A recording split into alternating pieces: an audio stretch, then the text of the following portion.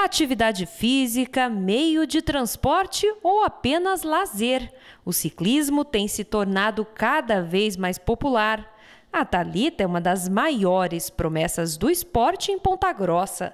Fui, comecei aprendendo, comecei devagar e é, é sempre assim, no começo a gente vai bem devagar, vai aprendendo o que é para depois começar a evoluir e ter um bom resultado. Em 2013 eu, eu tive dois títulos nacionais, em 2014 eu também tive um título. O técnico Mauro acompanha a atleta desde as primeiras pedaladas e agora pretende formar novos ciclistas com um curso voltado a adolescentes e jovens de 13 a 18 anos de idade. O projeto, na verdade, a gente trabalha, eu, como sou técnico das equipes da cidade, trabalho principalmente, primordialmente com atletas.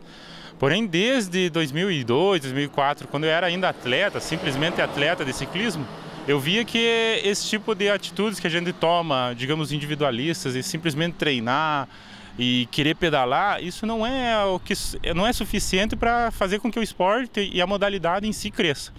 Então, a partir do momento que eu entrei na UEPG e tive alguns conhecimentos fundamentais de atividade física em si, eu trouxe esses conceitos para o ciclismo e estou tentando formar agora instrutores que possam fazer com que não trabalhe simplesmente individualmente, ele consiga chamar novas pessoas e passar conhecimentos básicos, fundamentais, para que a pessoa possa utilizar a bicicleta desde o transporte diário até mesmo com um esporte de alto rendimento.